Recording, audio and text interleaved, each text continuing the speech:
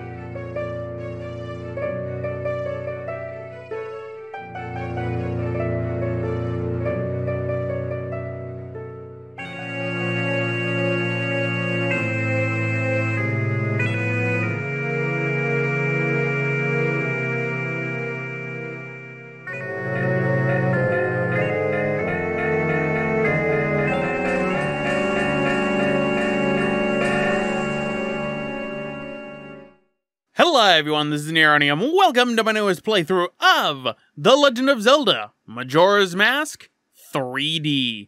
The Legend of Zelda Majora's Mask was created and developed by Nintendo, published in 2000 originally for the Nintendo 64.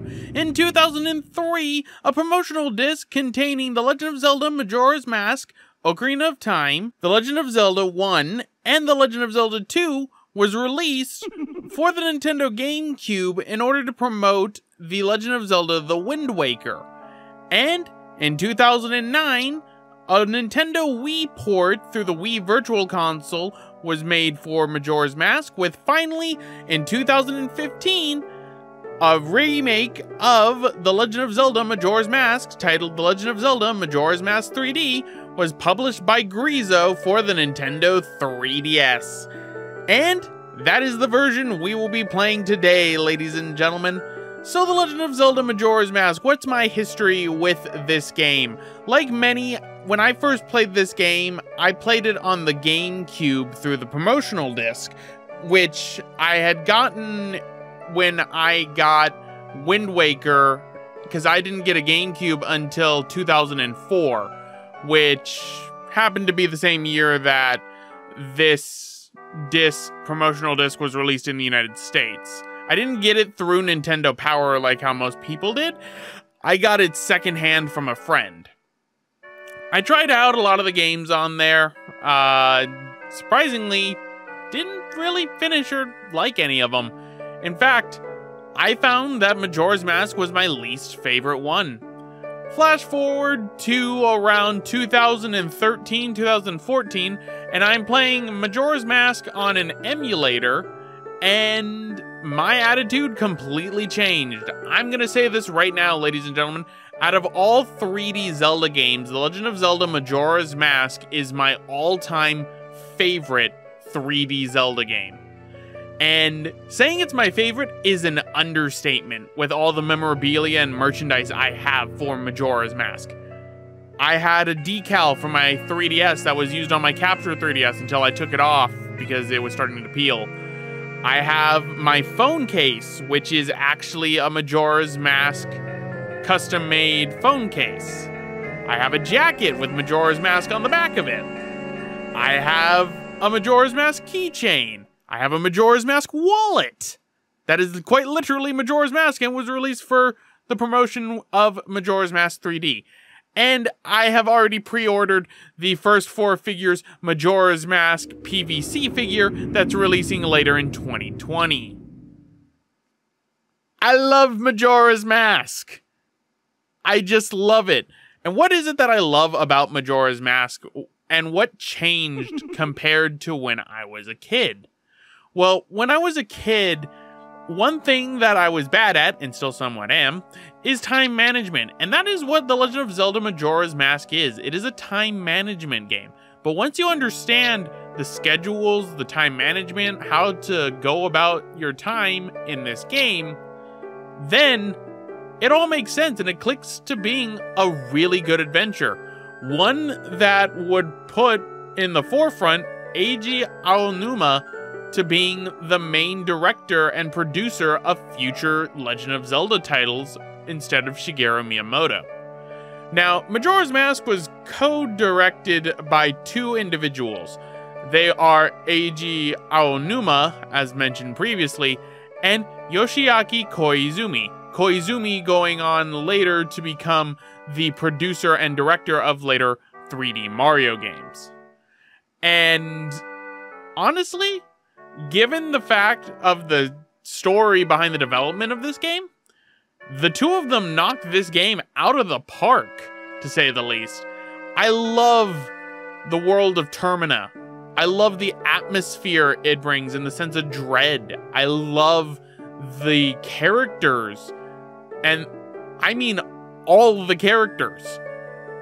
The Legend of Zelda Majora's Mask does an excellent job of creating a sense of you are involved in the lives of the people of Termina, and you're the one who will help end and ease their despair. I love the side quests. I love the focus on the people and setting and world of Termina rather than on dungeons. I love Majora's Mask, as mentioned previously. I love even the day and night cycle and time management system now, something that a lot of people didn't really like.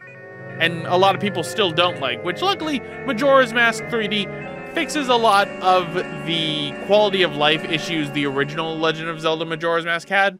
Although, while I do like the original a little bit more only because I know how to maneuver it a little bit better and there's some quirks that the Majora's Mask 3D sort of tacked on that I wasn't a fan of.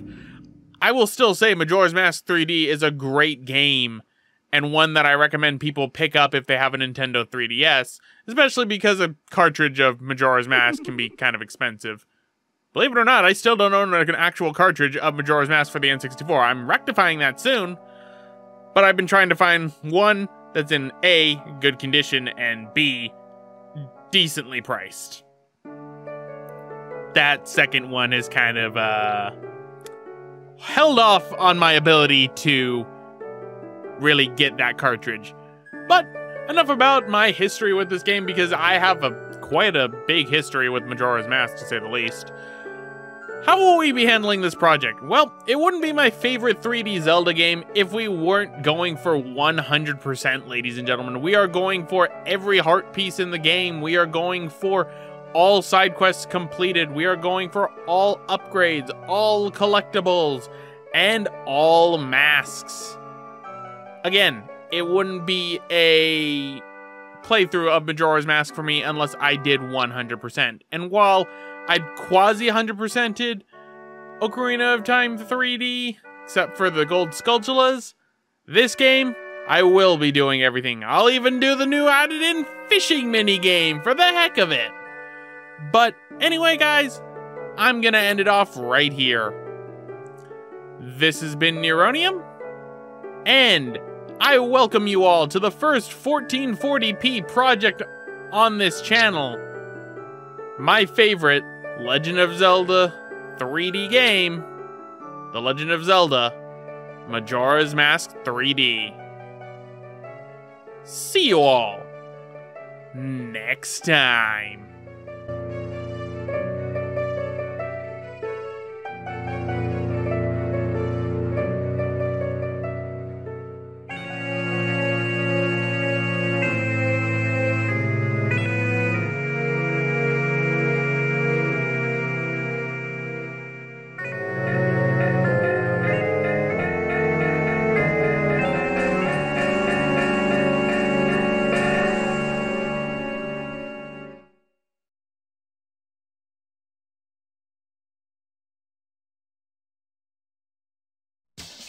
Hey, thanks for watching. If you want to check out the prequel to Majora's Mask, check out the top link for a playthrough of Ocarina of Time 3D. And if you want to see one of my favorite 2D Zelda games, check out the bottom link for a playthrough of The Legend of Zelda, A Link Between Worlds.